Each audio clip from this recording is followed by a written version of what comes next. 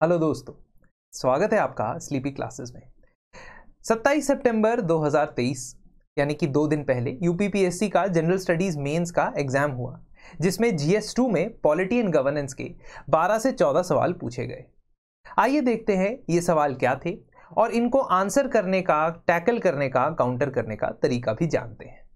सबसे पहला सवाल, आठ मार्क्स का ये क्वेश्चन था, जो पूछता है mention three the merits of judicial activism mind you ये सीक्वेंस ऑर्डर में नहीं हो सकते हैं क्वेश्चन तो कोई ज़रूरी बात नहीं है। लेकिन ये सभी सवाल कवर किए जाएँगे जो पॉलिटी एंड गवर्नेंस से पूछे गए थे। मे बी ये तीसरा सवाल था टेस्ट का। Judicial activism is a philosophy in the judiciary that motivates the judges to go beyond statutory precedents. जब भी आप किसी के बारे, किसी के मेरिट्स डीमेरिट्स की बात करते हैं तो पहले उसकी डेफिनेशन तो बताएँगे कि किस चीज़ की बात हो रही है। तो वैसे ही जुडिशियल एक्टिविज्म के बारे में बताएँगे। जब भी जजेस ये सोचे कि हमारा काम सिर्फ़ जो हमें लॉ के अंदर, कानून के अंदर ड्यूटीज़ रिस्पॉन्सिबिलिटी दी गई है, वही नहीं, लेकिन सोसाइटी के अंदर एक पॉजिटिव इंपैक्ट लाना भी है। इस सोच से जब वो जजमेंट्स ऑथर करते हैं, उसे जुडिशियल एक्टिविज्म कहते हैं। जुडिशियल एक्टिविज्म का कॉन्सेप्ट आर्थर श्लेजिंगर के द्वारा यूनाइटेड स्टेट्स के अंदर ये टर्म जो है ओरिजिनेट हुई थी। ऐसा हो सकता है कि इससे पहले भी जजमेंट्स आती हों जो जुडिशियल एक्टिविज्म को प्रमोट करती हों। लेकिन ये टर्म सबसे पहली बार वहाँ इस्तेमाल की गई थी। तो ये एक ऐसी फिलॉसफी है, जो जजेस को कहती है कि ज़रूरी नहीं है कि आप सिर्फ़ पुरानी जो जजमेंट्स हैं उनके हिसाब से चलें, पुराने जो लीगल प्रेसिडेंट्स हैं उनके हिसाब से चलें।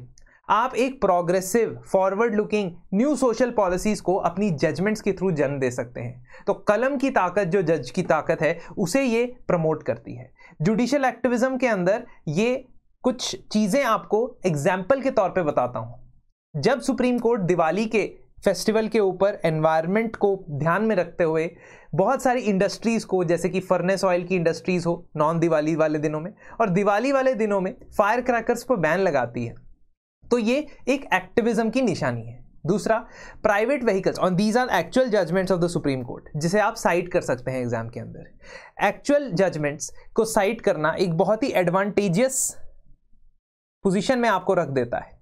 अब यूपीएससी या यूपीपीएससी कई क्वेश्चन पेपर्स में तो डायरेक्टली आपसे पूछा जाता है कि केस लॉज के ज़रिए एक्सप्लेन करिए।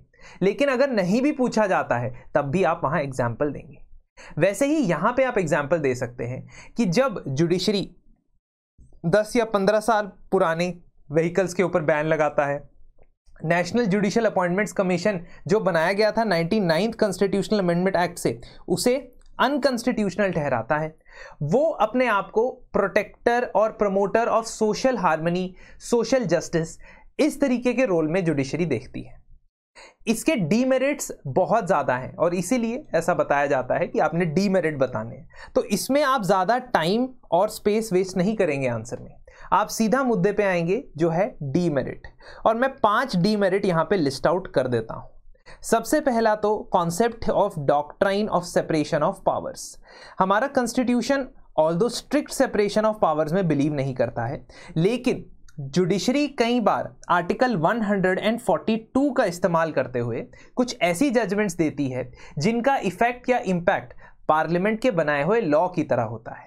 इसकी रीसेंट एग्ज़ाम्पल है AG Perarivalan case AG Perarivalan Rajiv Gandhi murder case में या एक कन्विक्ट थे। कन्विक्ट यानी कि उनको सज़ा सुनाई गई थी उम्र कैद की। वो काफ़ी समय से मर्सी पटिशन गवर्नर के पास लेके गए थे, लेकिन उनकी इस मर्सी पटिशन को एक्सेप्ट नहीं किया जा रहा था।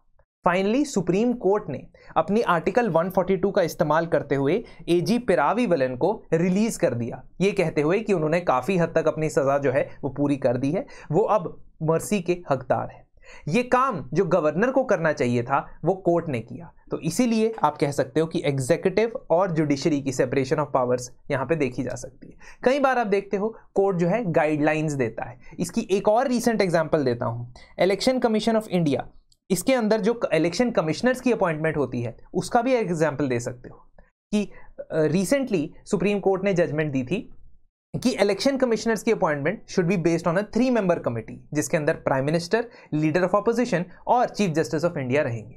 ऑल दो रिसेंटली एक बिल आया है, जिसके तहत इसकी कॉम्पोजिशन को बदले जाने की बात हो रही है। बट आप ये देख सकते हैं कि ये काम बेसिकली पार्लियामेंट का था, क्योंकि इलेक्शन कमीशन के अंदर अपॉइंटमेंट कैसे होनी चाहिए, ये पार्लियामेंट्री लॉ से डिसाइड होना चाहिए। बट यहाँ जुडिशरी उस रोल को प्ले कर रही थी। दूसरा, कोई फिक्स स्टैंडर्ड नहीं है। क्यों? क्योंकि जुडिशियल ओपिनियंस या जजेस के पर्सनल ओपिनियंस भी इसमें मैटर कर सकते हैं। फॉर एग्ज़ाम्पल कई लोग ऐसा मानते हैं और खासकर यूएस की जुडिशरी में ऐसा देखा जाता है कि ये क्लियरली पता लगता है जजेस की जजमेंट से कि वो लिबरल माइंडसेट के हैं आइडियोलॉजी के हैं या कंजर्वेटिव माइंडसेट या आइडियोलॉजी के हैं।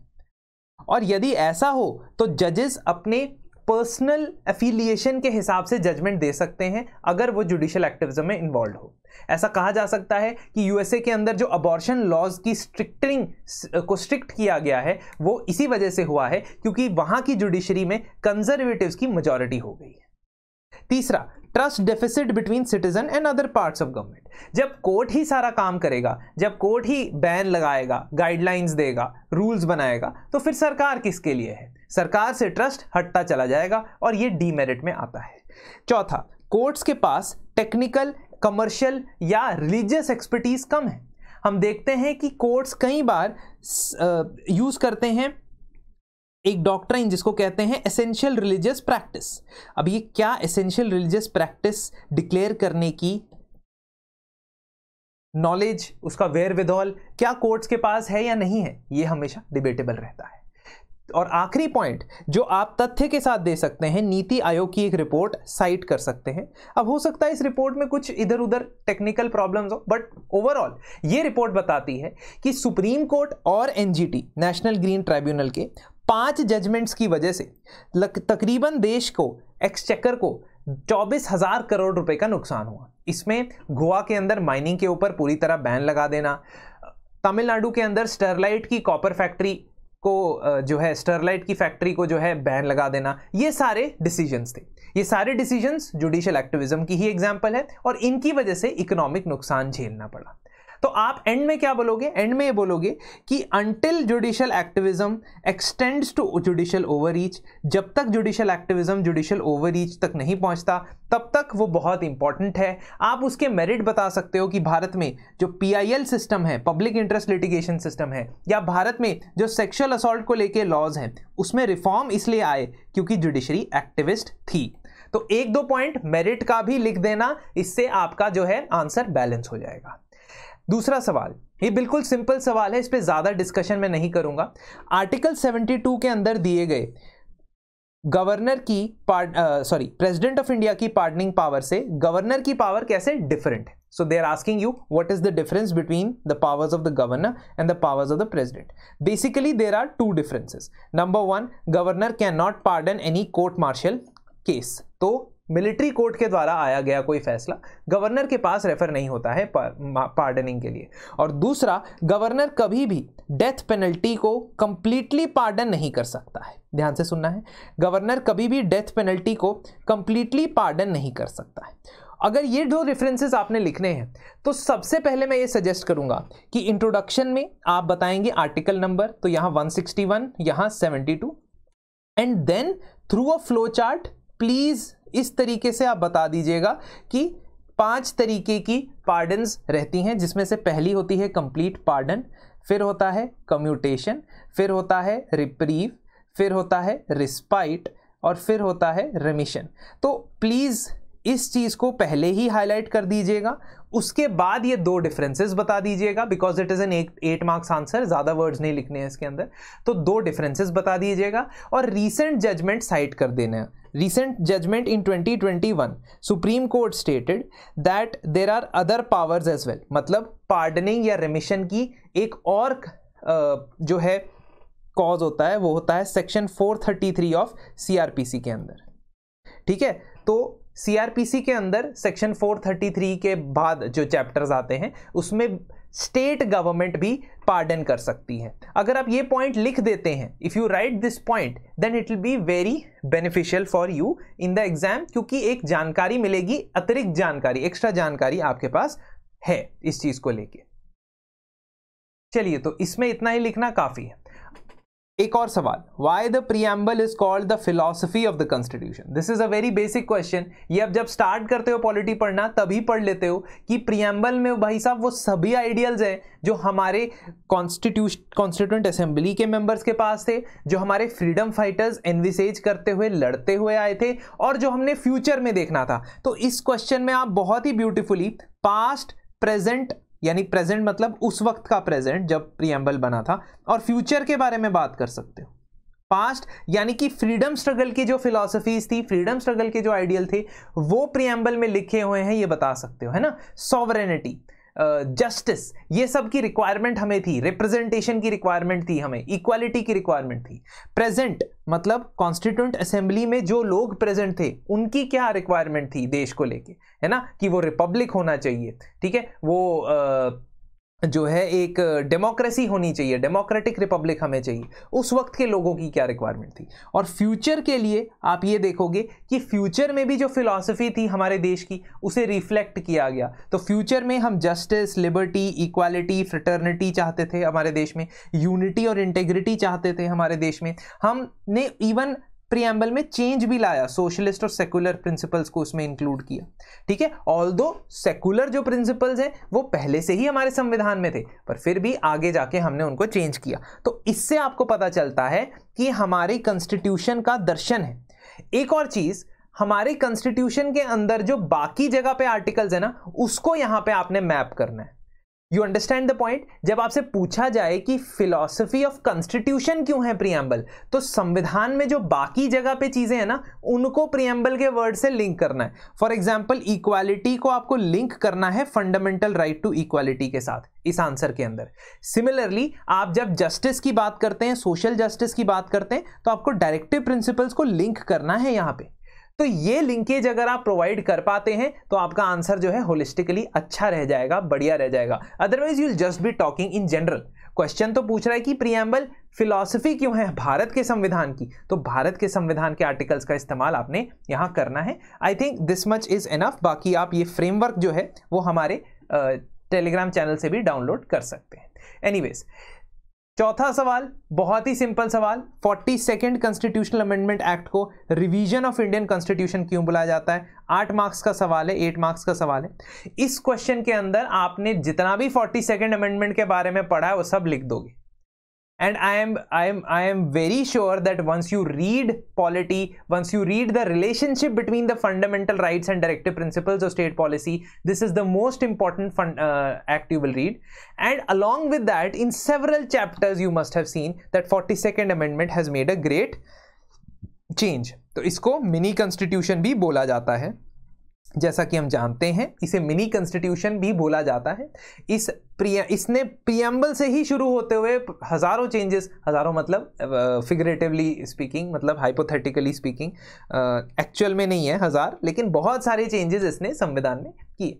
जैसे कि इसने सोशलिस्ट सेकुलर इंटेग्रिटी शब्द ऐड किया, इसने स्कोप जो है आर्टिकल 31 सी का स्कोप जो है वो इंक्रीज कर दिया और ये कहा कि हम किसी भी फंडामेंटल राइट को अमेंड कर सकते हैं, किसी भी डायरेक्टिव प्रिंसिपल को इंप्लीमेंट करने के लिए। ठीक है? और इसने बहुत सारी चीज़ें करने की कोशिश की। सुप्रीम कोर्ट की जुरिस्डिक्शन को रिस्ट्रिक्ट करने की कोशिश की।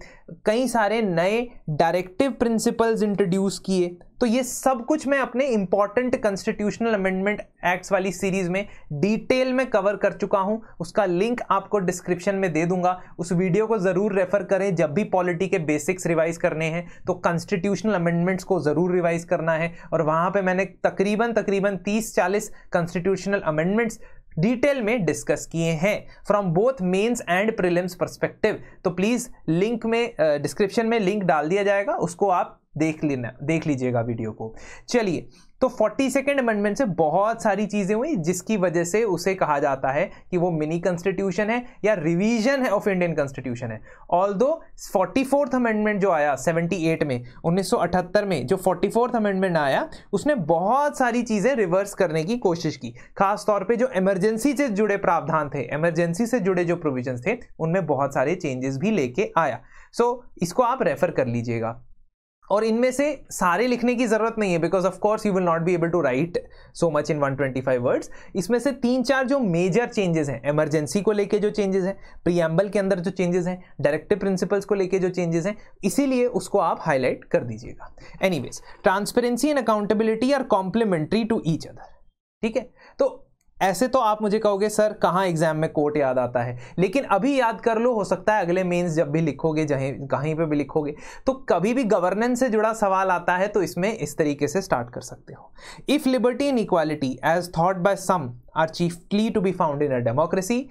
They will be best attained when all persons alike share in the government to the utmost. इसके दो मीनिंग निकाले जा सकते हैं एरिस्टोटल की स्टेटमेंट के एक मीनिंग ये कि गवर्नमेंट गवर्नमेंट पार्टिसिपेटरी होनी चाहिए गवर्नमेंट पार्टिसिपेटरी होनी चाहिए लेकिन मैं अगर इसको नए कॉन्टेक्स्ट में देखूँ तो शेयरिंग का मतलब मैं ये भी देख सकता हूँ कि लोगों के साथ मैक्सिमम इंफॉर्मेशन शेयरिंग की जानी चाहिए। अगर वो पार्टिसिपेट डायरेक्टली नहीं कर सकते तो वो इनडायरेक्टली कैसे कर सकते हैं? अगर आप उनके साथ इंफॉर्मेशन शेयर करते हो। दिस इज़ वेरी ऑब्वियस कि ट्रांसपेरेंसी और अकाउंटेबिलिटी कंप्लीमेंट्री ही होते हैं, लेकिन उसको आंसर में कैसे बताना है? पहले तो शुरुआत में बताना है कि जो गुड गवर्नेंस के आठ एट्रीब्यूट्स होते हैं आप वर्ल्ड बैंक के गुड गवर्नेंस के एट्रीब्यूट्स तो रट्टा मारने हर किसी कैंडिडेट को पढ़ते ही हैं ठीक है? Accountability responsibility transparency and uh, effective and efficient government equity and inclusiveness consensus oriented and participative government ठीक है? ये जो मैंने बताया है ये वर्ल्ड बैंक के आठ एट्रीब्यूट्स हैं गुड गवर्नेंस के ठीक है?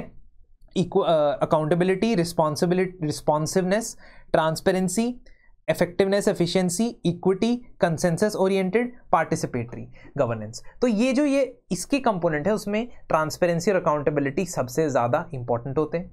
फिर आप बताओगे कि अकाउंटेबिलिटी विदाउट ट्रांसपेरेंसी कैसे होगी? Accountability that means people or any organization holding someone accountable holding someone responsible can only happen if they have the entire truth about the proceedings और if they don't have the entire truth it will be imperfect इसमें आप recent example दे सकते हो कि five I's का जो spy वाला alliance है यानी सीक्रेट इंटेलिजेंस एजेंसीज का अलायंस है USA New Zealand Australia Canada इन सब के बीच में उनकी ट्रांसपेरेंसी तो नहीं है तो वो इंडिया से किस तरीके से अकाउंटेबिलिटी मांग रहे हैं? पता नहीं। Transparency without accountability now this is उल्टा, है ना? जहाँ ट्रांसपेरेंसी है, लेकिन अकाउंटेबिलिटी नहीं है। वहाँ पे एक टूथलेस टाइगर या एपेथेटिक सोसाइटी वाली फीलिंग आएगी मतलब। आपने सब ओपन रखा है सिस्टम को, लेकिन कोई भी उसकी रेमेडी के लिए प्रोसीजर नहीं है। So if if there is corruption it is open corruption but there is no remedial procedure for that procedural safeguard ही नहीं है grievance redressal mechanism ही नहीं है अगर transparency है बिना accountability के वो चल रही है तो इसका मतलब दोनों एक दूसरे के बिना को एग्जिस्ट नहीं कर सकते कल्चर ऑफ़ सीक्रेसी की भी बात कर सकते हो जो सेकेंड एआरसी बात करता है ऑफिशियल सीक्रेट्स एक्ट 1923 के बाद से हमारे यहाँ कल्चर ऑफ़ सीक्रेसी पैदा हुआ है उसको हमने ट्रांसलेट किया आरटीआई के थ्रू ऑल्सो दो और एडिशनल पॉइंट लिख देना accountability must be continuous not episodic ठीक है? ऐसा नहीं है कि पाँच साल बाद ही नेता जो है अपनी शक्ल दिखाता है। पाँच साल बाद या कुछ समय बाद ही जो है, साल साल बाद ऑडिट होता है। Every year audit will be there ठीक है? कंटिन्यूअस मॉनिटरिंग अकाउंटेबिलिटी होनी चाहिए, जिसके लिए ई गवर्नेंस बहुत ज़्यादा इंपॉर्टेंट है। आगे ई गवर्नेंस का भी क्वेश्चन आएगा। Transparency must be complete not partial और सेलेक्टिव जो अकाउंटेबिलिटी कंटिन्यूस होनी चाहिए और ट्रांसपेरेंसी कंप्लीट यहाँ पे स्पेलिंग के लिए माफ़ कर दीजिएगा मुझे, है ना? प्लीज़ तो ट्रांसपेरेंसी जो होनी चाहिए, बिल्कुल कंप्लीट होनी चाहिए पार्शियल नहीं होनी चाहिए। पार्शियल मतलब कि जॉइंट सेक्रेटरी से ऊपर वाले बंदे से आप नहीं पूछ सकते हो, उससे नीचे वाली ही फाइलें अवेलेबल होंगी सारी, है ना? Ultimately you need to disclose the you need to have transparency that is complete ये बात आप एंड में लिख देना। चलिए। Self help group again very basic question very basic जानकारी जो जनरली हम पढ़ते ही हैं। एनालिटिकल नोट देना है कॉम्पोजिशन पे देना है फ़ंक्शंस पे देना है। तो शुरू हो जाएँगे डेफिनेशन से कि सेल्फ हेल्प ग्रुप क्या होता है? Self governed peer controlled information group informal group of people with similar socio-economic background and having desire to collectively perform common purpose. तो एसएचजी की कॉम्पोजिशन में कॉम्पोजिशन बहुत इंपॉर्टेंट है। क्यों? क्योंकि नंबर वन ऐसा नहीं है कि यहाँ पे नॉमिनेटेड या इलेक्टेड रिप्रेजेंटेटिव्स आने वाले हैं। यहाँ पे जो ग्राम सभा के आम लोग होंगे वो आएँगे। सेकंड कॉम्पोजिशन क्यों इंपॉर्टेंट है कि इस ग्रुप का छोटा होना बहुत ज़रूरी है। ये एक्सपेंसिव एक ग्रुप नहीं हो सकता, क्योंकि इसकी जो ब्यूटी है, वो स्मॉल ग्रुप्स के अंदर ही डेवलप होती है। तीसरा, इसमें विमेन सेंट्रिक ज़्यादा है। ठीक है विमेन सेंट्रिक ज़्यादा है। अब आप ये डैशबोर्ड देख लो, ये डैशबोर्ड मैंने डे एनआरएलएम की वेबसाइट से लिया है।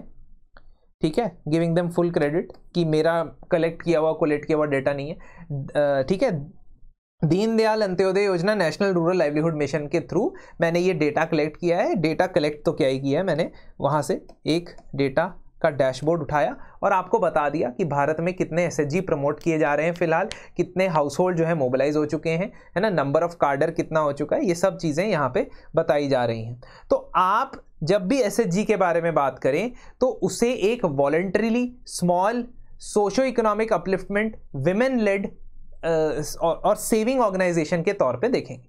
तो चार पाँच कैरेक्टरिस्टिक आप रट लेंगे एसएचजी के। जब भी इससे जुड़ा सवाल आता है तो उसको लिख देंगे। इसके फ़ंक्शंस को भी एनालाइज करने को कहा था तो ये सब इसके फ़ंक्शंस हैं। स्मॉल अमाउंट्स को रेगुलरली सेव करने की मदद करना म्यूचुअली एग्री करना कि वो एक फंड में कंट्रीब्यूट करे। कलेक्टिव डिसीज़न मेकिंग लेना कि एसएचजी आगे किस तरीके की कार्रवाई करेगा। कलेक्टिव बोरोइंग करना, वो भी फ़ेज़ वाइज मतलब पहली चरण में आपको 10 लाख, एक 20 लाख रुपए नहीं मिल जाएँगे। पहले छोटे लोन मिलेंगे माइक्रो लोन्स मिलेंगे। ठीक है, जिसे माइक्रो फाइनेंसिंग कहते हैं। और उसके बाद अगर आप उसे समय पर रिपे करते हैं, और आपका फाइनेंशियल डिसिप्लिन अच्छा है तो आपको और लेंडिंग वहाँ प्रोवाइड की जाएगी। पीयर प्रेशर के थ्रू रिपेमेंट मैकेनिज्म को इंश्योर किया जाता है कि एक दूसरे को आप बोलते हो कि अगर तुमने ये जितना तुम्हारा शेयर है, वो वापस नहीं दिया तो पूरा एस जो है वो डिफ़ॉल्ट कर जाएगा, और जब डिफ़ॉल्ट कर जाएगा, आगे लोन नहीं मिलेगा। ठीक है? कॉन्फ्लिक्ट की रेजोल्यूशन होना मोबिलाइजेशन एम्पावरमेंट ऑफ़ वुमेन होना पावर्टी एलिविएशन ये सारे के सारे फ़ंक्शंस ये परफॉर्म करता है।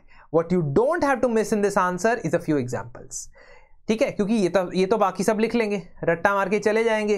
प्रीवियस ईयर क्वेश्चन देख लिया होगा उन्होंने यूपीएससी यूपीपीएससी का। और उन्हें पता होगा कि एस इंपॉर्टेंट टॉपिक है।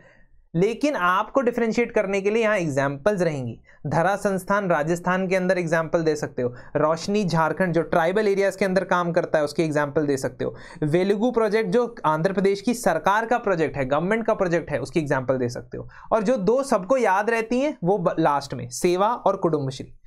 ये सबको याद नहीं रहेंगी। ये वाली तो सभी को याद होती है। Most of the aspirants know about self employed women's association Gujarat के अंदर।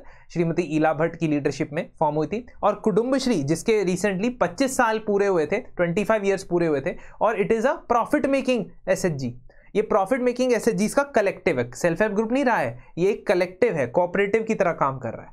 तो इसीलिए आपने ये समझना है कि एग्जाम्पल्स इस आंसर की जान है।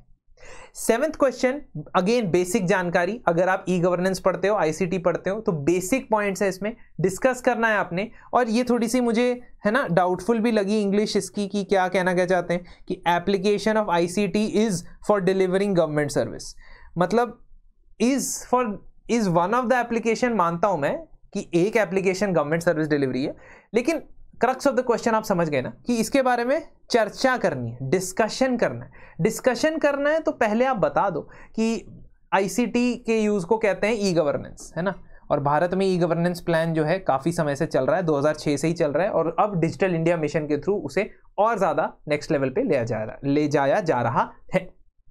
Then you will talk about कि कहाँ कहाँ मदद हो सकती है और अगेन इसमें भी द जान द रूह the soul of the answer is going to be your example कई क्वेश्चन में एग्ज़ाम्पल वैल्यूडेशन होती है लेकिन कई क्वेश्चन में एग्ज़ाम्पल के थ्रू ही डिफरेंस क्रिएट होता है। और ये डिफरेंस यहाँ क्रिएट होगा। जब आप सारे के सारे एप्लीकेशन बताओगे कि ई गवर्नेंस की एप्लीकेशन क्या क्या है there can be multiple examples ये तो मैंने बस एक जेनरिक uh, आपको एग्जाम्पल्स दिए आप खुद से भी एग्जाम्पल्स ढूंढ सकते हो ताकि वो आपकी यूनिक एग्जाम्पल्स हो कहीं सोर्स से ना मिली हो और वो आप आंसर के अंदर कोट कर सकते हो। ठीक है? तो इंफॉर्मेशन एक्सेस वेबसाइट्स के थ्रू डैशबोर्ड्स के through online market places online auction and bidding land records bill भरना ऑथेंटिकेशन ऑफ़ डॉक्यूमेंट्स करना डिजी लॉकर ये सब बता देना। ई प्रमाण है ना? जीवन प्रमाण, ये सारे एग्ज़ाम्पल है सर्विस डिलीवरी की। ओके तो ये अब आप समझना समझना है कि किस तरीके से आईसीटी आ रहा है। ये पॉइंटर्स बहुत इंपॉर्टेंट है। क्योंकि डिस्कशन करना है, इसलिए सर्विस डिलीवरी पॉइंट्स कैसे होंगे, कहाँ से बनेंगे? मतलब किस चीज़ का इस्तेमाल करके आप सर्विस डिलीवर करेंगे? या तो वेबसाइट्स का इस्तेमाल करेंगे, या कॉमन सर्विस सेंटर्स या सिविक सर्विस सेंटर्स सीएससी का इस्तेमाल करेंगे, या मोबाइल एप्लीकेशंस का इस्तेमाल करेंगे, जैसे उमंग एप्लीकेशन हो गई, या पीएम वानी का इस्तेमाल करेंगे, जो रिसेंटली वाईफाई को एक पीसीओ की तरह पीडीओ के थ्रू प्रोवाइड करना चाहता है। पब्लिक डेटा ऑपरेटर्स की तरह प्रोवाइड करना चाहता है। ठीक है? चलिए। अब this is a bit of a tricky question क्यों? क्योंकि examine the increasing powers and roles of prime minister it is a political question. Why because constitution में तो कोई ऐसा अमेंडमेंट नहीं हुआ। संविधान में तो कोई ऐसा चेंज नहीं आया, बदलाव नहीं आया, जिससे प्राइम मिनिस्टर की पावर्स इंक्रीज होते हुए दिखी होगी। और इन जनरल भी हम इस तरीके के सवाल प्रिपेयर नहीं करते। तो इसमें क्या करना है? दिमाग का इस्तेमाल। वैसे तो सभी में करना है, लेकिन इसमें इंस्टेंटली करना पड़ेगा। क्या करोगे वहाँ जाके? सबसे पहले तो आर्टिकल्स लिख दोगे, है ना? कि 74 75 के अंदर है। अब आप बताओगे कि जो एग्जिस्टिंग पावर्स है पीएम की, वो फ्लो चार्ट के थ्रू बता देना। जो बेसिकली आप पढ़ते हो कि पीएम की एग्जीक्यूटिव क्या होती है लेजिस्लेटिव क्या होती है, इस तरीके से दो तीन पॉइंट बना के लिख देना। नाउ इंक्रीजिंग क्यों लग रही है आपको? इसके पाँच पॉइंट मैं देता हूँ। एक, क्योंकि एब्सोल्यूट मेजोरिटी वाली सरकार है कोलिशन गवर्नमेंट वाली सरकार नहीं है, इसलिए pressures on the prime minister to balance all the different coalition is not there number one second cabinet committees में बोलबाला है। Six out of eight cabinet committees are head by the prime minister new cabinet committee भी जो बनाई गई थी दो, वो भी प्राइम मिनिस्टर द्वारा हेड की जाती। तीसरा ऑर्गेनाइजेशनल हेड बहुत सारी ऑर्गेनाइजेशंस के प्राइम मिनिस्टर हैं।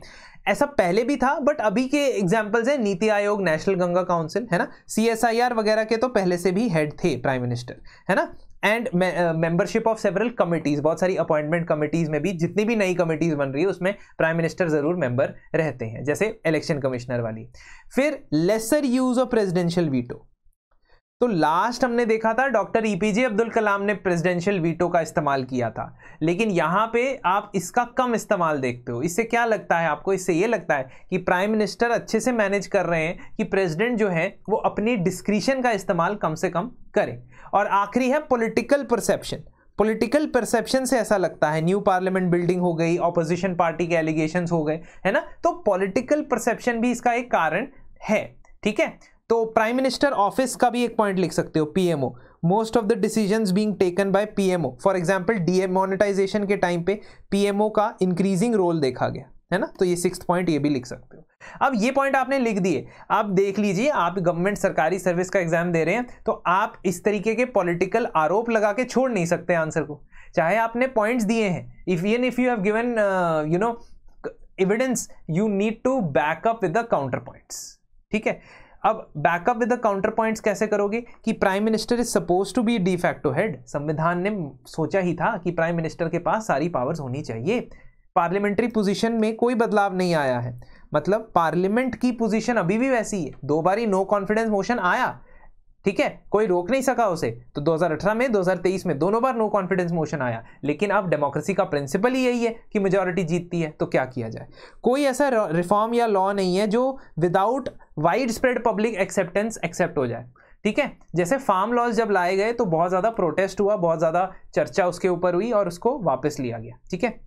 Decisions taken by cabinet meetings क्योंकि पार्लियामेंट्री डेमोक्रेसी है तो कैबिनेट मीटिंग्स के अंदर जो फैसले लिए जाते हैं, उनको मानना ये पार्लियामेंट्री कन्वेंशन है। ये ब्रिटिश पार्लियामेंट सिस्टम में भी चलता है, हमारे में भी चलता है। तो ठीक है, ऐसा सब हो सकता है कि लग रहा हो, लेकिन हमें काउंटर पॉइंट दो तीन देने पड़ेंगे। We have to give two three counter point आखिर में इसमें क्या करोगे आप? इसमें पूछा है how does it impact the other institution तो क्या इम्पैक्ट होएगा भाई? जुडिशरी को लगेगा कि एग्जीक्यूटिव जो है इंटरफेरेंस कर रहा है।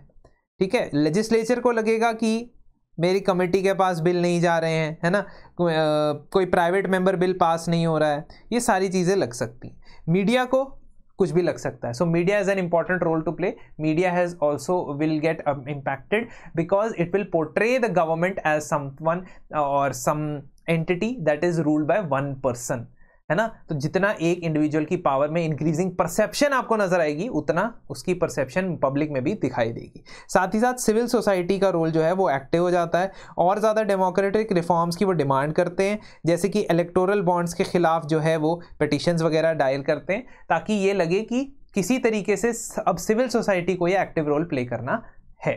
ठीक है? चलिए नेक्स्ट आते हैं नाइन्थ क्वेश्चन इसके तीन पार्ट है। तीन part how does the federal structure in India accommodate diverse need and aspiration of different states अब इस वाले क्वेश्चन को कॉन्स्टिट आप चार मैकेनिज्म से बताओगे कि भारत का जो स्ट्रक्चर है, कैसे अलग अलग स्टेट्स की अलग अलग एस्पिरेशंस को मैनेज करता है?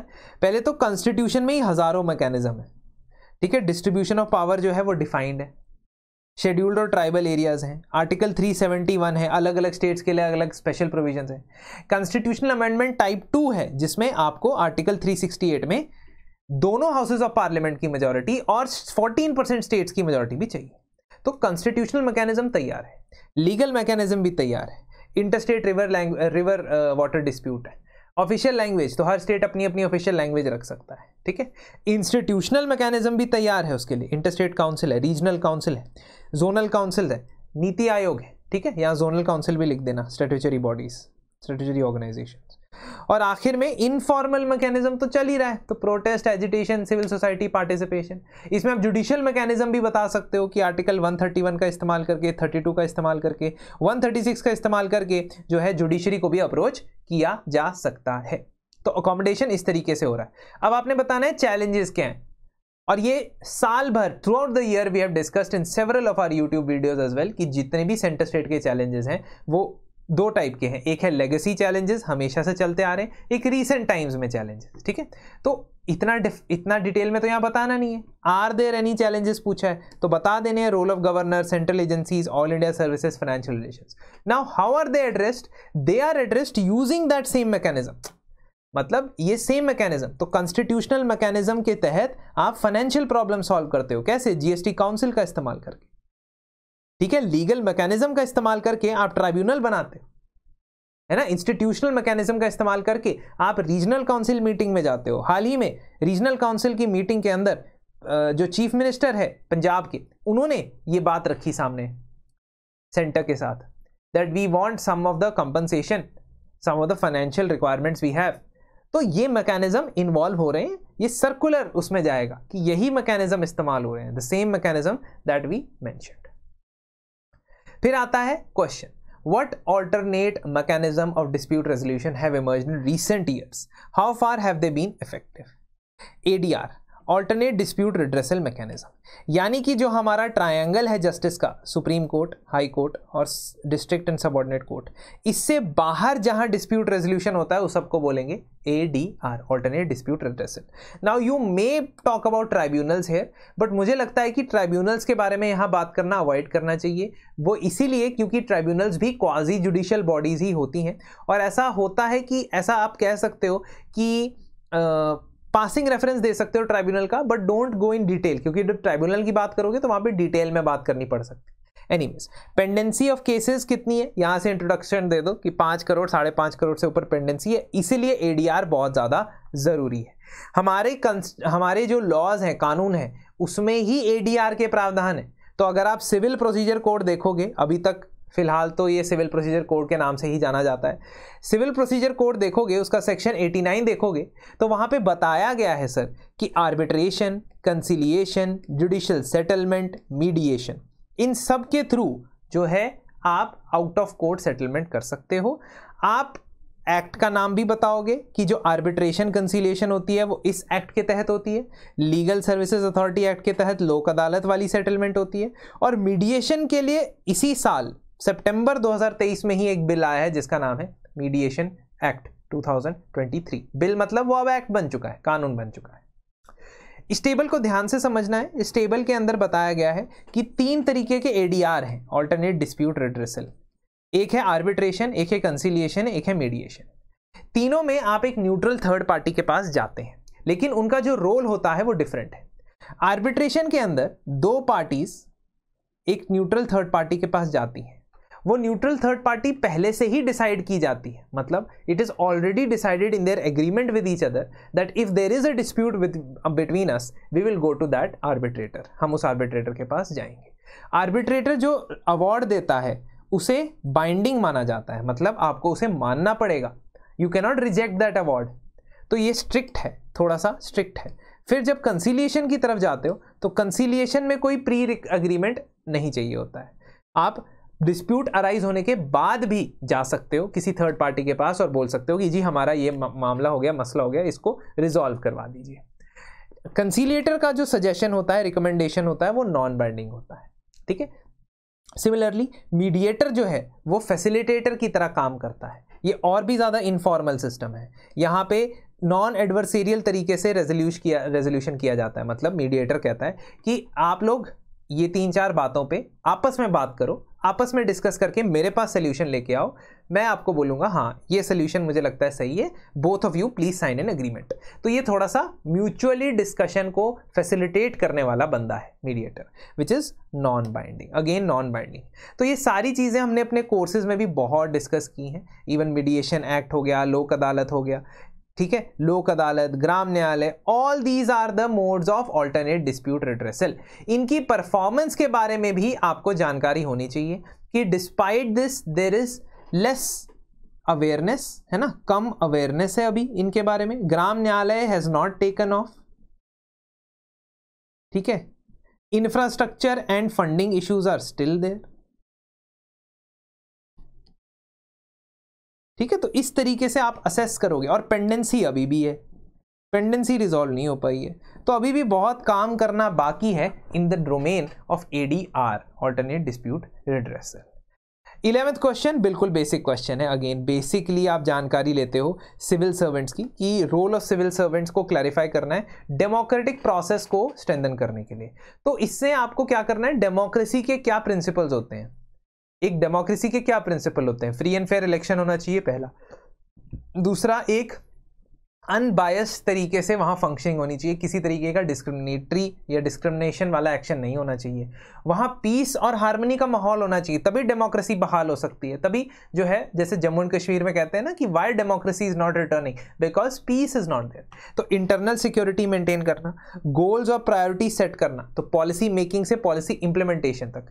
ठीक है again I don't need to discuss with you the बहुत ही जब आप बेसिक्स पढ़ते हो ना सिविल सर्विसेज़ के तो वहीं पर आपने क्लैरिफिकेशन दे देना है। थोड़े से काउंटर पॉइंट ज़रूर दे देना इसमें। काउंटर प्रोडक्टिव पॉइंट्स जैसे कि ब्यूरोक्रेसी अपने आप में डेमोक्रेसी के एंटीथेटिकल है।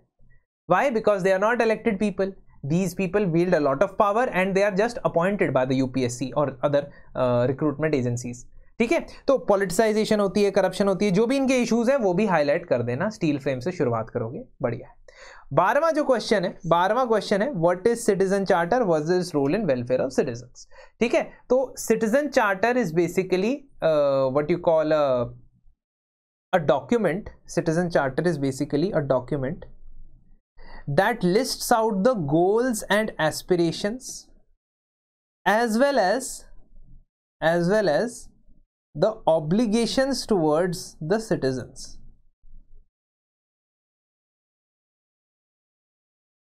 ठीक है?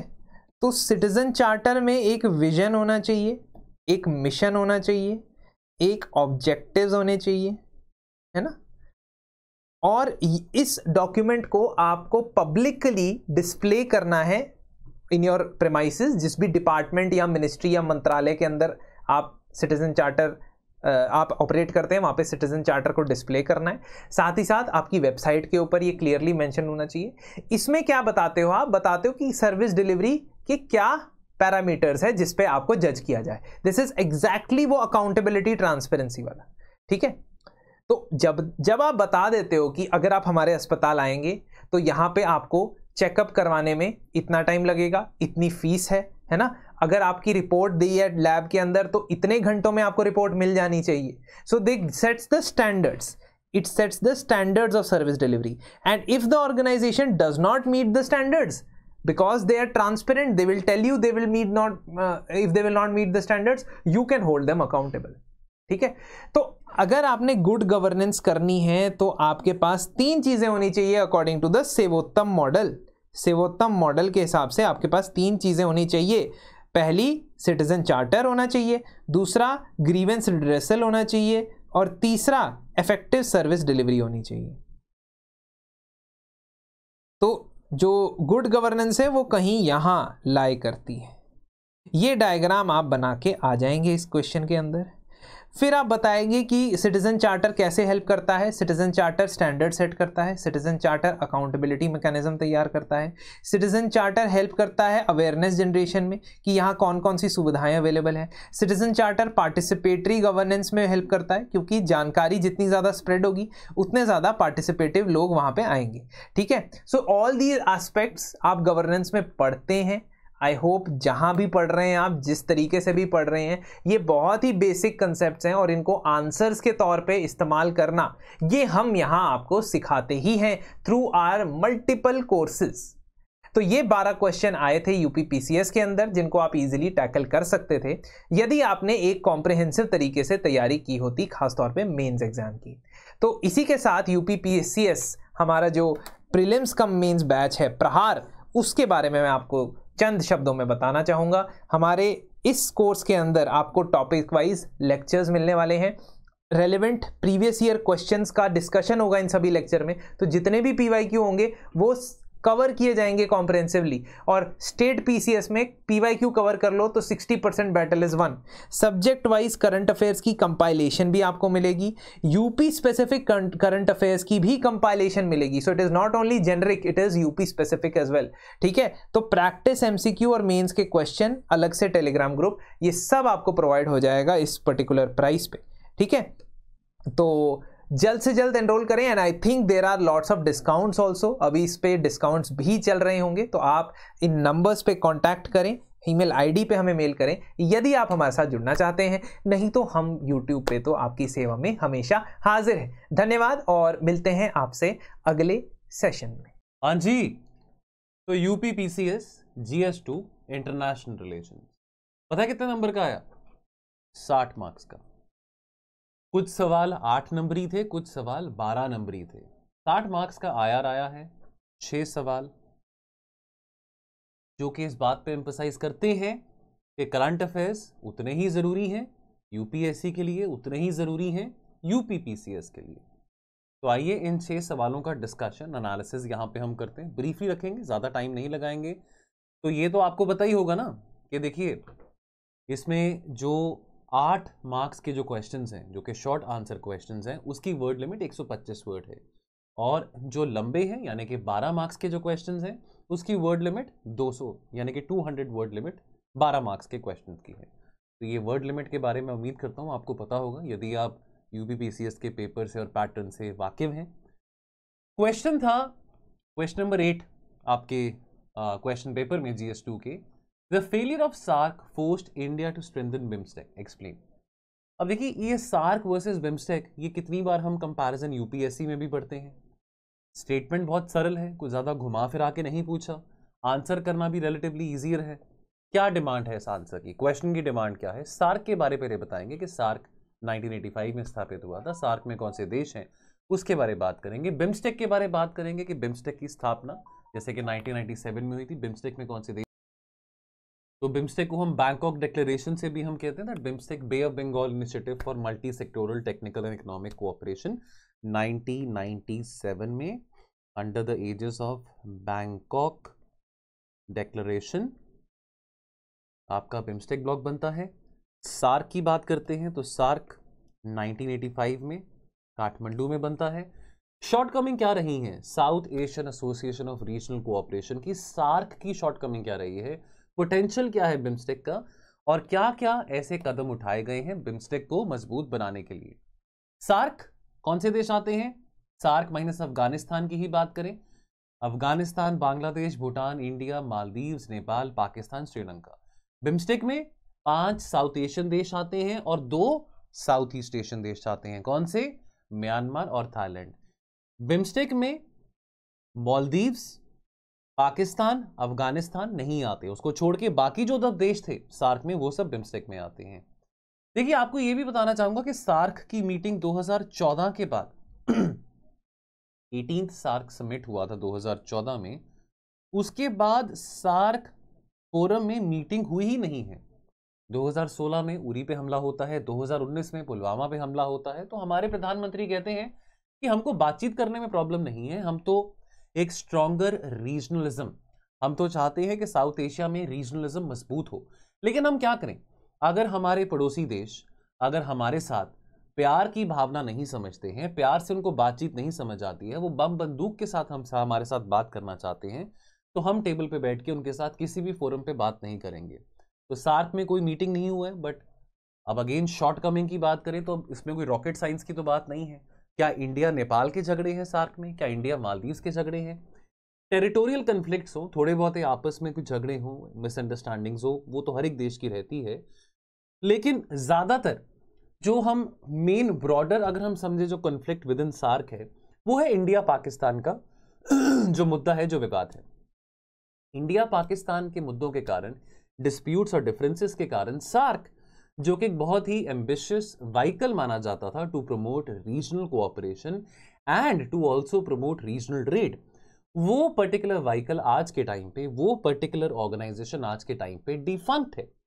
तो लेकिन India can not ignore South Asia बात समझ रहे हैं कि इंडिया को साउथ एशिया में रेलेवेंस बनाने के लिए एक ऑल्टरनेटिव ज़रिया ढूंढना पड़ेगा। तो जैसे बिम्स्टिक एक ऑल्टरनेटिव रूट आता है, एक ऑल्टरनेटिव ज़रिया हमारे लिए बनता है जिसके चलते हम साउथ एशिया और इवन साउथ ईस्ट एशिया में अपनी कोऑपरेशन बढ़ा सकते हैं।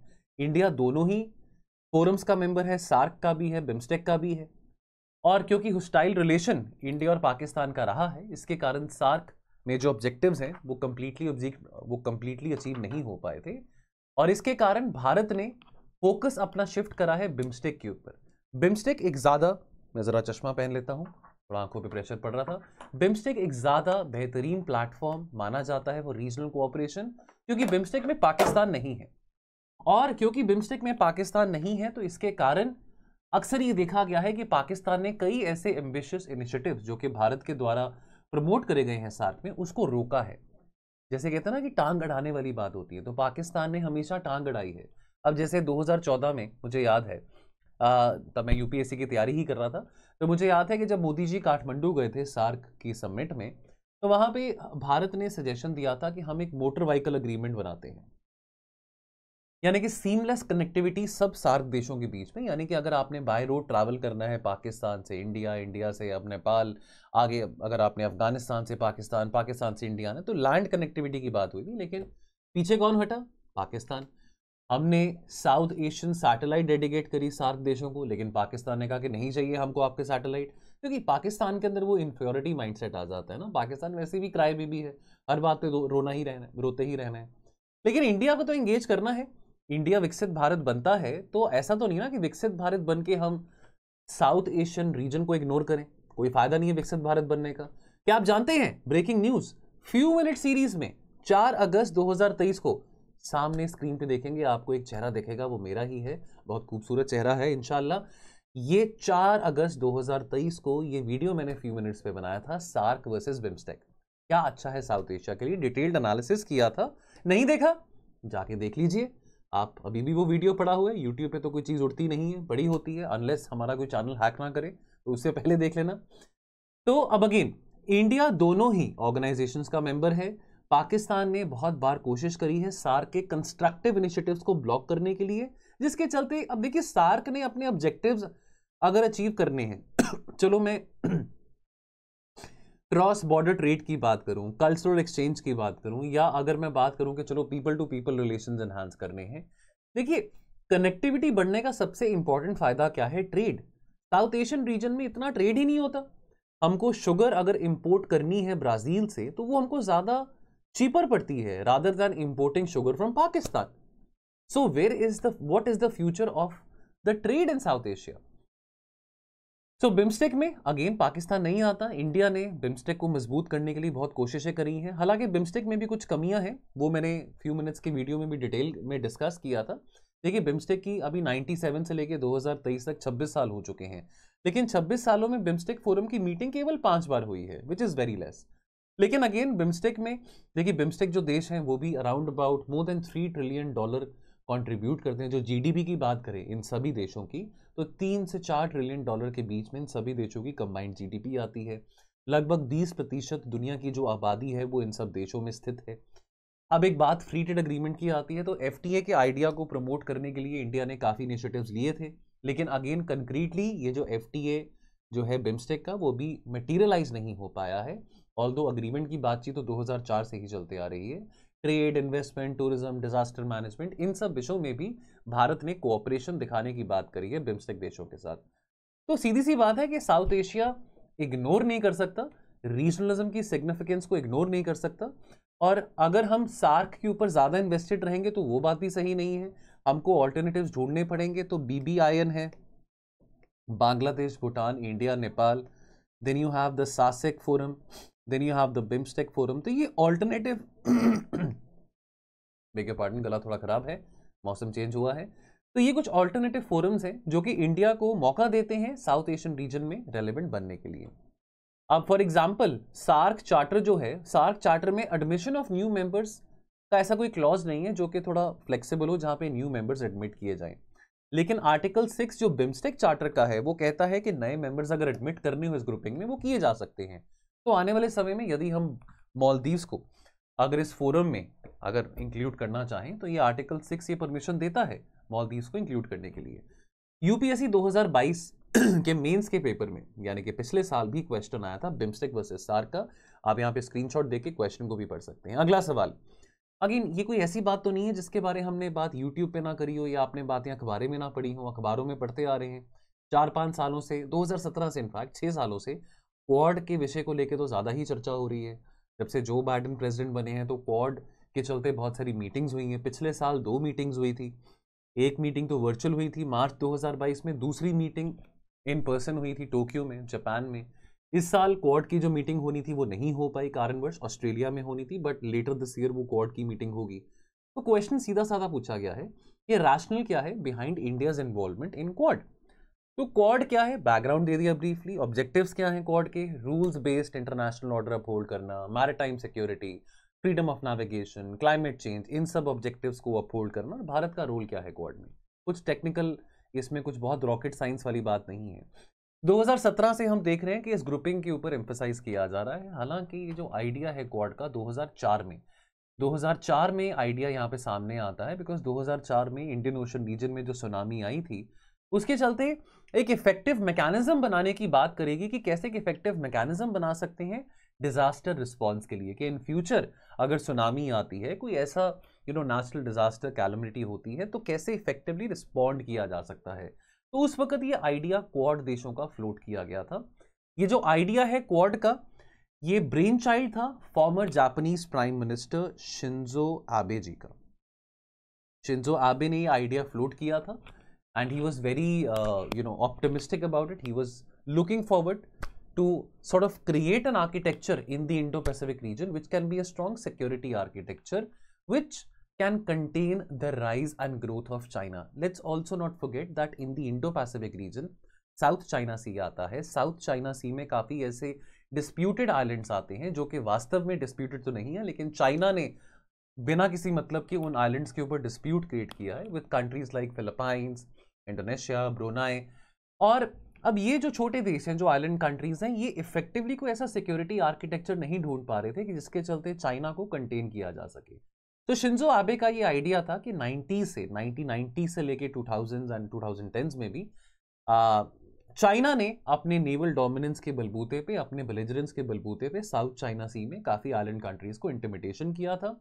कैसे इन सब देशों को एक सिक्योरिटी आर्किटेक्चर दिया जा सकता है? हालाँकि क्वाड एक सिक्योरिटी अलायंस नहीं है अपने आप में। क्वाड ना तो कोई इफ़ेक्टिव ट्रेड अलायंस है, ना तो कोई इफ़ेक्टिव सिक्योरिटी अलायंस है। बट एनी हाउ इस क्वेश्चन में क्वाड का क्रिटिसिज्म नहीं पूछा गया। इंडिया का रोल क्या है, उसके बारे हम बात करें।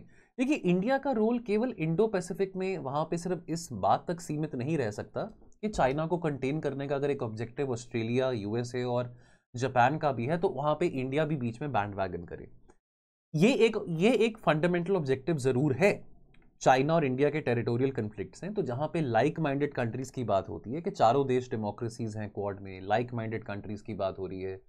चारों देशों का कहीं ना कहीं एक ऑब्जेक्टिव है कि चाइना के बिलिजरेंस को कंटेन करना है। ये एक फंडामेंटल ऑब्जेक्टिव ज़रूर है, लेकिन इंडिया की ये चाहत भी है, ये एस्पिरेशन भी है कि इंडो पैसिफिक रीजन में इंडिया कैसे उभर सकता है as a net security provider to these island countries in the times to come now देखिए, अब क्वाड को लेके अगेन जैसे आपको मैंने बताया कि मिलिट्री एक्सरसाइजेस तो हो रही हैं क्वाड देशों के बीच में, मालाबार नेवल एक्सरसाइज की बात करें, लेकिन ज़्यादा मिलिट्री रिलेटेड बातें या मिलिट्री टेक्नोलॉजीज़ एक्सचेंज नहीं हो रही हैं। नाउ इंडिया को कैसे बूस्ट मिलता है? पहली बात तो हम यहाँ पे समझें कि इंडिया को मौका मिलता है चाइना के बेल्ट एंड रोड इनिशिएटिव को बेल्ट एंड रोड इनिशिएटिव के इन्फ्लुएंस को काउंटर करने का by participating in Quad now also क्योंकि ऑस्ट्रेलिया अमेरिका जापान इन सब के कॉमन एनिमी चाइना है तो यहाँ पे इंडिया को भी, यहाँ पे एक लेवरेज मिलता है बिकॉज़ इंडिया क्योंकि इंडिया एक लौता देश है जिसके टेरिटोरियल कन्फ्लिक्ट हैं चाइना के साथ लैंड बॉर्डर कन्फ्लिक्ट हैं चाइना के साथ जापान के कन्फ्लिक्ट चाइना के साथ ज़रूर हैं, जो सेन के खुद आयु आइलैंड्स की बात करते हैं ईस्ट चाइना सी में, लेकिन लैंड बॉर्डर कन्फ्लिक्ट चारों देशों में से केवल इंडिया का है। इंडिया की जो एक्ट ईस्ट पॉलिसी है और इंडिया की जो एक्सटेंडेड नेबरहुड पॉलिसी है, उसको भी एक बूस्ट मिलता है, बढ़ावा मिलता है। इंडिया अगर इंडो पैसिफिक में अलाइन करता है। और अगर लाइक माइंडेड डेमोक्रेसीज के साथ, देखिए, अब पहले इंडिया घबराता था कि अगर हम अमेरिका के ज़्यादा करीब होंगे, अगर हमारे दुश्मन जो हैं, चाइना है, पाकिस्तान है, या हमारे दोस्त हैं, रशिया, अगर वो इस बात को देखेंगे कि इंडिया अमेरिका के बहुत नज़दीक जा रहा है तो वो क्या इस बात से नाराज़ होंगे? क्या वो रिटालिएट करेंगे? लेकिन अभी भारत इस बात को लेकर बहुत स्पष्ट है, बहुत क्लियर है कि हमारी जो फॉरेन पॉलिसी है, वो ऑटोनोमस है, हमारी स्ट्रेटेजिक ऑटोनॉमी है हम किसी देश को खुश करने के लिए या नाराज़ करने के लिए किसी देश के साथ ना तो दुश्मनी लेंगे, ना ही उसके साथ मित्रता करेंगे। हमारी अपना नेशनल इंटरेस्ट अलाउ करेगा तो हम किसी भी ऐसे देश के साथ दोस्ती ज़रूर करेंगे जो कि हमारे नेशनल इंटरेस्ट को एडवांस करता है। क्वाड देशों में information sharing climate change related बातचीत डिफेंस टाइज वैक्सीन की बात करें, वादा किया गया था कि 2022 तक, अब तो वो साल निकल चुका है कि एक बिलियन वैक्सीन क्योंकि देखिए 2022 की शुरुआत में भी काफ़ी टेंशन थी ओमिक्रॉन वेरिएंट आया था तो ये बात करी गई थी कि कैसे ये इन सब देशों को इंडो पैसिफिक कंट्रीज़ को तुरंत राहत कैसे पहुंचाई जा सकती है वैक्सीन डोजेस कैसे पहुँचाए जा सकते हैं? तो वैक्सीन मैत्री का इनिशिएटिव भी इस क्वाड फोरम में ही इंटीग्रेटेड था भारत का।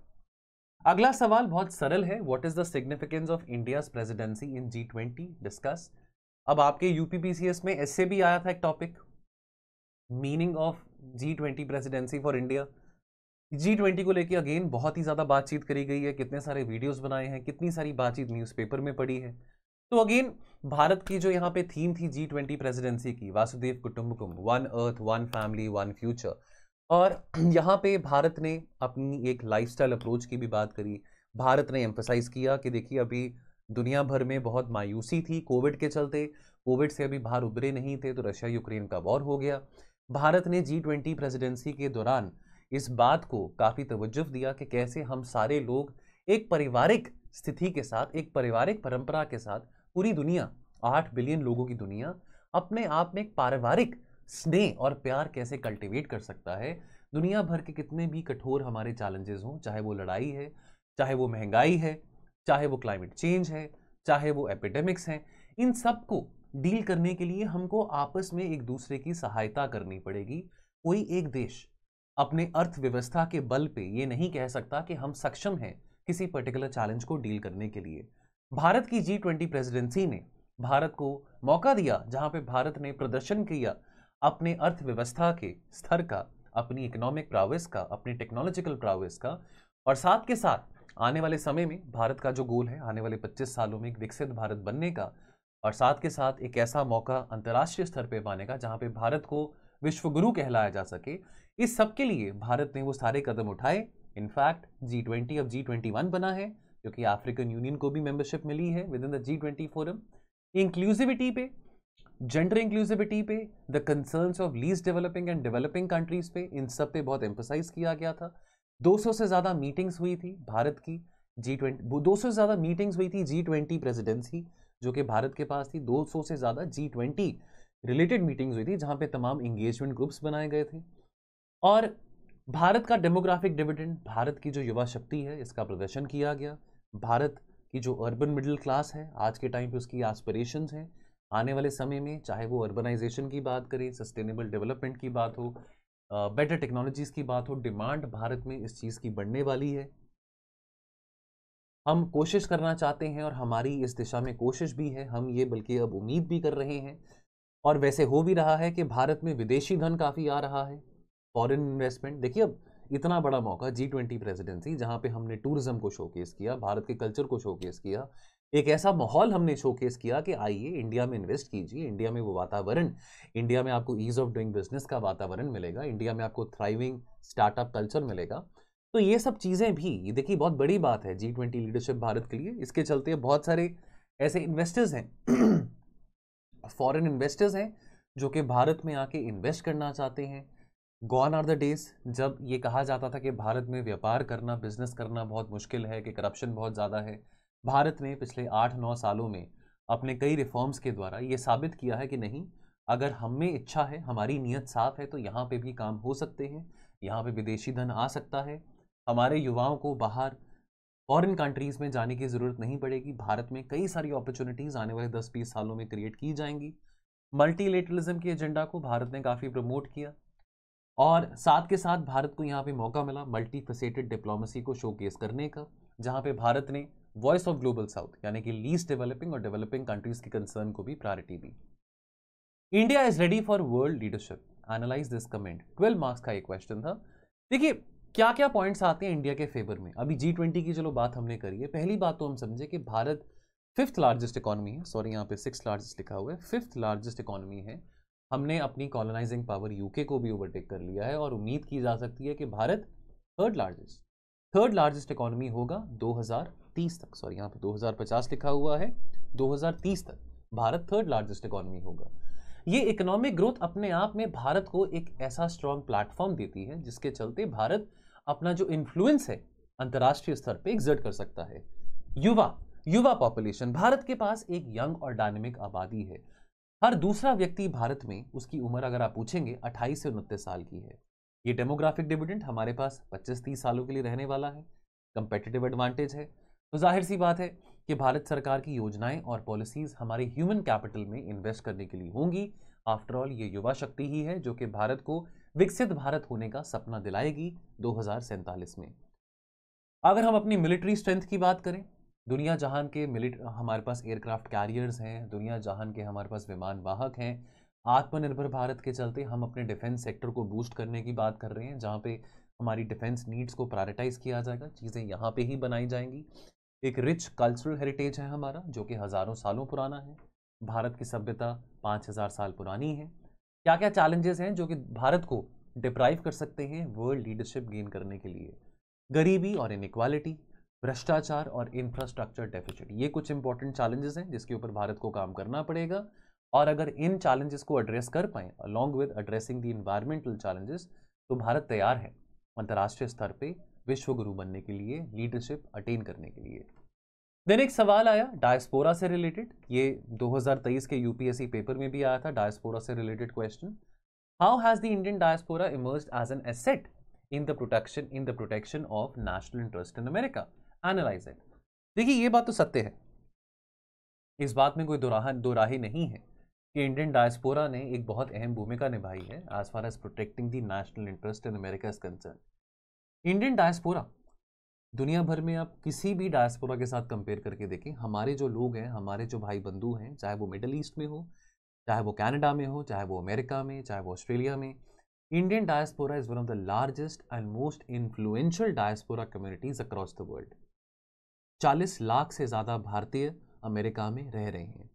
चाहे वो डॉक्टर्स हैं, चाहे वो लॉयर्स हैं, चाहे वो चार्टर्ड अकाउंटेंट्स हैं इंजीनियर्स हों साइंटिस्ट हों आर्टिस्ट हों और उनको काफ़ी हद तक अच्छे तरीके से अच्छी रिप्रेजेंटेशन पॉलिटिक्स में भी मिल रही है। मिसाल के तौर पे हम अमेरिका के वाइस प्रेसिडेंट की बात करें, कमला हैरिस।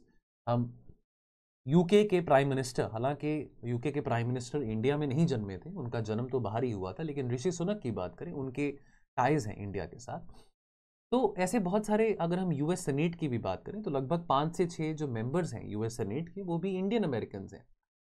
तो देखिए, चाहे हम अपने इंडिया के इंटरेस्ट को एडवोकेट करने की बात हो इंडिया के जो इंडियंस जो अमेरिका में रहते हैं, उनके इंटरेस्ट को एडवांस करने की बात हो यूएस कांग्रेस में, क्योंकि यहाँ पे क्वेश्चन में केवल अमेरिका की बात करी गई है।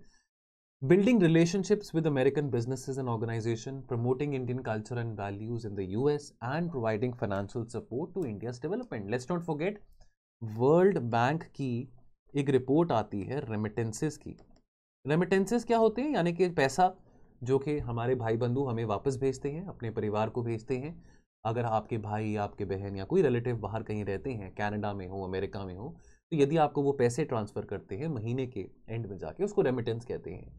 वर्ल्ड बैंक की रिपोर्ट कहती है कि भारत में 111 बिलियन डॉलर से ज़्यादा रेमिटेंसेज आए हैं पिछले दो सालों में और वर्ल्ड बैंक का ये कहना है कि सबसे ज़्यादा रेमिटेंसेज भारत को मिडल ईस्ट यानी कि अरबी देशों से नहीं, लेकिन अमेरिका से आए हैं, क्योंकि हमारा जो स्किल्ड वर्क फोर्स है, अमेरिका की जो आईटी इंडस्ट्री है, उसका बैकबोन कौन है? वहाँ के जो इंडियन वर्कर्स हैं, जो इंडियन अमेरिकन हैं, जो वहाँ पे काम कर रहे हैं। तो खूब खूब सारा पैसा हमारे जो भारतीय, जो हमारे युवा हैं, जो वहाँ पे सेटल्ड हैं, काम करते हैं, वो पैसा भेजते हैं अपने परिवार वालों को, और इसके चलते इंडिया की इकोनॉमिक डेवलपमेंट में भी फाइनेंशियल सपोर्ट दे रहे हैं, ये हमारे diaspora has played a key role in promoting India US relations in the recent years they have lobbied in the past 2006-7 की बात करें for the US India nuclear civil cooperation याद होगा 1998 में पोखरान जो टेस्ट हुआ था, पोखरान, जो पोखरान न्यूक्लियर टेस्ट हुआ था, पोखरान टू 1998 में अटल बिहारी वाजपेयी जी के टाइम पे। उसके बाद अमेरिका ने कहा था कि इंडिया के ऊपर सैंक्शन लगा दिए जाएँगे कि इंडिया की हिम्मत कैसे हुई? उन्होंने न्यूक्लियर टेस्ट किया। और उस वक्त से लेके 2002 तीन, चार तक भारत और अमेरिका के रिश्ते काफ़ी you know up and down रहा। लेकिन 2001 में वर्ल्ड ट्रेड सेंटर पे अटैक हुआ और अमेरिका ने वॉर ऑन टेरर लॉन्च किया, जहाँ पे अमेरिका को इंडिया से भी support milli at least not military wise support but एक मॉरलिस्टिक सपोर्ट मिली। और अमेरिका और इंडिया ने अपने न्यूक्लियर रिलेशंस को भी सुधारने की बात करी बिकॉज़ इंडिया ने कहा कि देखो, हम एक न्यूक्लियर पावर ज़रूर हैं, क्योंकि हम एक न्यूक्लियर आर्म नेबरहुड में रहते हैं, लेकिन हम इस शक्ति का प्रदर्शन ऐसे गैर जिम्मेवारी से नहीं करेंगे। अगर हम पे कोई हमला करेगा तो हमें इस एनर्जी का, इस शक्ति का प्रदर्शन करना बहुत ज़रूरी होगा। तो ये अपनी सिक्योरिटी अपनी डेटरेंस के लिए हमने न्यूक्लियर पावर अपने आप को किया है। लेकिन बहरहाल न्यूक्लियर एनर्जी का इस्तेमाल किया जा सकता है बिजली के उत्पादन के लिए, जो कि एक रिन्यूएबल और क्लीन सोर्स ऑफ़ एनर्जी है। तो कैसे कैसे सिविल कैसे न्यूक्लियर एनर्जी को सिविलियन पर्पसेस के लिए हार्नेस किया जा सकता है? और कैसे अमेरिका इंडिया को इस मामले में कोऑपरेट कोऑपरेशन दे सकता है तो अमेरिका इंडिया के बीच में जो civil nuclear cooperation agreement sign किया गया था इसमें इंडिया के डायस्पोरा का बहुत बड़ा रोल रहा था। सो so, 2016 में इनफैक्ट जब उरी पे हमला हुआ पाकिस्तान के द्वारा और जब हमने सर्जिकल स्ट्राइक्स हमने रिटालिएट किया अक्रॉस दी एल जब हमारे special para twenty two commandos ने जैश ए मोहम्मद और लश्कर तयबा के कुछ टेरर कैंप्स को न्यूट्रलाइज किया और उड़ाया तो वहाँ पे इंडियन डायस्पोरा जो कि अमेरिका में प्रेजेंट था, उन्होंने भी काफ़ी ऐसे सपोर्ट और इंथुजियाज़म जनरेट किया था amongst the public of America कि इंडिया ने जो काम किया, वो बिल्कुल सही था। चलिए, अगला क्वेश्चन इंडिया पाकिस्तान के ऊपर है। Indo Pak relations are illusion at present discuss the problems that bitters जिसके कारण इंडिया पाक रिलेशंस में इंडिया पाकिस्तान के रिश्तों में खटास है। देखिए, पहली बात तो आती है कश्मीर के मुद्दे की। कश्मीर का मुद्दा पार्टीशन के टाइम से इंडिया पाकिस्तान के बीच में काफ़ी एक ऐसा कंटेंशियस इशू रहा है। पाकिस्तान कहता है कि कश्मीर हमारा है। इंडिया का स्टैंड बहुत क्लियर है कि कश्मीर एक integral part of union of India है। Then rise of religious extremism की बात करें। देखिए रिलीजियस एक्सट्रीमिज्म दोनों देशों में है। इंडिया में भी है, पाकिस्तान में भी है। जिसके चलते वायलेंस और ऐसे दंगे दोनों देशों में काफ़ी बड़े हैं। Religious extremist groups often target करते हैं members of other religion which leads to increase hatred and violence और न्यूक्लियर फैक्टर की बात आती है। दोनों देश न्यूक्लियर आर्म्ड हैं। पाकिस्तान को ज़ाहिर सी बात है, ये बात पसंद नहीं है। एक और यहाँ पे रुकावट आती है एक और ऑब्स्टिकल आता है कि इंडिया पाकिस्तान के डिस्प्यूट में, मुद्दे में, हमेशा थर्ड पार्टीज़ आ जाती हैं। यानी कि कभी अमेरिका की इन्वॉल्वमेंट देखी जाती है, कभी चाइना की इन्वॉल्वमेंट देखी जाती है, कभी यूके की इन्वॉल्वमेंट देखी जाती है। इंडिया पाकिस्तान स्वयं अपने झगड़े अपने आप नहीं सुलझा पा रहे हैं और एक एक्सटर्नल हेल्प की ज़रूर रिक्वायरमेंट रहती है। हम नहीं जाते हैं किसी के पास। पाकिस्तान की आदत है कि वो चाइना के पीछे या अमेरिका के पीछे छिप के इंडिया पे वार करते हैं, या उनको होता है कि हमको चाइना बचाएगा या हमको अमेरिका बचाएगा, लेकिन अगर दोनों देश अपने मुसीबतों का, अपने प्रॉब्लम्स का मसला कर सक, अगर हल कर सकें, बातचीत करके, हम तो तैयार होते हैं बातचीत करने के लिए बट हम, ऐसा नहीं ना कि आप सिर्फ़ बातचीत करो और हम पे अटैक करी चलो। वो भारत पुराना था। वो पुराना भारत था जो कि कड़ी से कड़ी निंदा ही करता था। आज का जो भारत है, वो मुँह तोड़ जवाब देता है। पहले सिर्फ़ कड़ी से कड़ी निंदा की जाती थी। कोई बम ब्लास्ट हुआ है ट्रेन ब्लास्ट हुआ है, ताज में टेरर अटैक हुआ है। अब कड़ी निंदा नहीं, मुँह तोड़ के जवाब भी दिया जाता है। तो हमने अपना जो तरीका है, हमने अपना जो सिक्योरिटी डॉक्ट्रीन है, वो भी बदली है। Thanks to our national security adviser and honourable prime minister of course ऐसी बातें हम आंसर्स में नहीं लिख सकते हैं, ताकि वहाँ पे हमने ये नहीं रिफ्लेक्ट करना कि हम मोदी भक्त हैं कि एंटी मोदी भक्त हैं बट आपको समझाने के लिए। सो वे फॉरवर्ड डायलॉग अक्सर एक बहुत बेहतरीन टूल होता है डिप्लोमेसी में, जिसको बहुत अंडर एस्टिमेट भी किया जाता है। ट्रस्ट डेफिसिट है। डायलॉग के ज़रिए ये ट्रस्ट डेफिसिट को ब्रिज किया जा सकता है अगर तो विलिंगनेस पाकिस्तान भी शो करे। और कश्मीर डिस्प्यूट को वैसे तो Kashmir integral part of India है ये तो नॉन नेगोशिएबल बात है। आर्टिकल 370 एब्रोगेट करके जो स्पेशल स्टेटस था अमेरिका के आ, कश्मीर के पास वो भी अब स्पेशल स्टेटस उसके पास नहीं रहा है। और उम्मीद करते हैं कि आने वाले टाइम में पीओके जो कि पाकिस्तान ने इंडिया से हथियाया था 1948 में वो पीओके भी हम वापस लेके रहेंगे। तो कश्मीर का जो मुद्दा है जो डिस्प्यूट पाकिस्तान ने रेस किया हुआ है वो इंडिया ने बहुत क्लियर कर दिया कैटेगोरिकली कि कश्मीर लद्दाख जम्मू ये integral part of union of India है। यहाँ पे नो कॉम्प्रोमाइज़ नो नेगोशिएशन लेकिन फिर भी यदि पाकिस्तान को यहाँ पे गले में कुछ खटखटाहट होती है यदि पाकिस्तान को यहाँ पे भी, भी कोई तकलीफ़ होती है तो डेफिनेटली बातचीत करके रिजॉल्व किया जा सकता है। अगर अगेन मैं रिपीट करूँगा अगर पाकिस्तान विलिंग हो तो। दोस्तों ये छः क्वेश्चन थे लगभग आधा घंटा लगाया है इनकी ब्रॉडर डिस्कशन करने में।